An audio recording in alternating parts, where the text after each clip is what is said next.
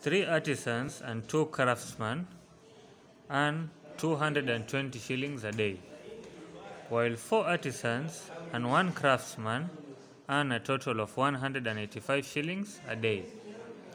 Find the cost of hiring one craftsman in a day. Question kama hii waweza ukasolve using substitution method.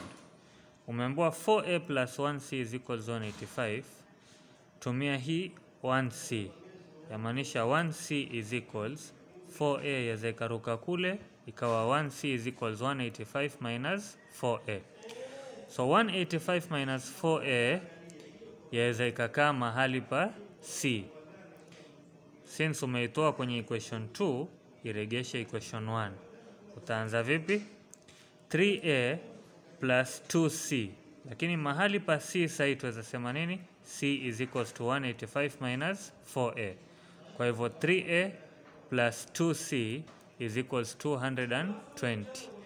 Fungua hizi brackets utapata 3a plus 370 minus 8a is equals to 220.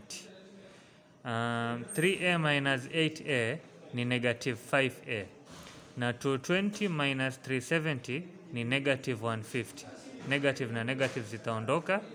5a is equals 150 by 5 by 5 a is equals 30 shillings.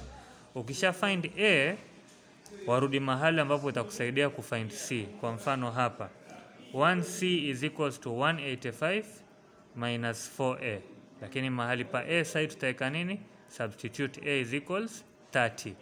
Kwa hivyo 4 times 30 ni 120, 185 minus 120 utapata one craftsman earns 65 shillings a day, na hiyo tumetumia substitution method.